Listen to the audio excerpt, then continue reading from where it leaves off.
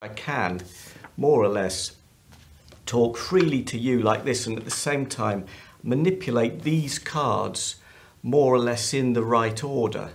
The Lilian Baylis Studio is the home for new ideas in dance and choreography, and that includes from younger artists as well as more established artists like Jonathan Burrows. It's really exciting to have a solo proposition from him with his new work called Rewriting. So, this new proposition starts with the revisiting of a book that Jonathan wrote in 2010 called A Choreographer's Handbook.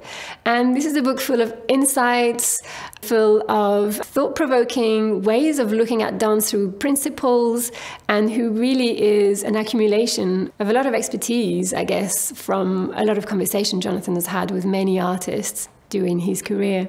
So this revisiting here is very direct because he literally reads out from the book to us in a kind of flashcards magic trick kind of performance, which is direct address to the audience. So it's really exciting to see him actually making this decision and taking this intent to share a piece with us that has its trademark virtuosic aspects in terms of the skill, the precision, the memory, and the ability to be talking to us while doing very complex actions, which seemingly appear very simple thought be interesting at this moment to reveal a card I didn't read out previously.